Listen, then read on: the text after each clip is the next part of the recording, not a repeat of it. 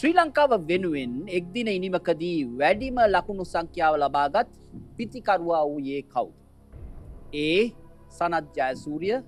B Tillakaratne Dilshan C Pathum Nissanka. D Kumar Sangakkara. එක ටිකක් හොඳ ප්‍රශ්නයක්. ඒගැන්නේ ඇත්තරම ආස ක්‍රීඩාවක් ක්‍රිකට් කියන්නේ. මේකේ චන්දර මහත්මයා මේ කලින් ඒ කියන්නේ ශ්‍රී ලංකාව වෙනුවෙන් මෑතක් වෙනකං එක්දින ඉන්නමකදී වැඩිම ලකුණු සංඛ්‍යාව අරගෙන තිබුණේ මගේ මතකය නිවැරදි නං සනත් ජයසූරිය. නමුත් සනත් ජයසූරියගේ ඉන්නම අභි බවා මේ ළඟදී තාම හොඳ පිතිකරුවෙක් ලංකාවට බිහිවුණ ඒ තමයි පැතුම් නිස්සංක පැතුම් නිශ්ශංක විත්ත ශතකයක් වාර්තා කර.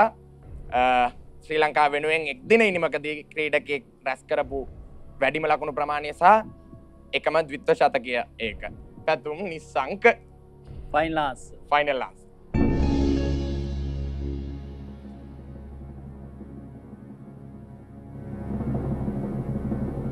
සේනාදිට මාත්‍ය මොකද කියන්නේ? හරිද? පුතා මත් හිතන්න ඒකත අපි බැලුව මච්චකත් අපි දෙන්නත් එක්ක. දෙන්නත් එක බැලුවා.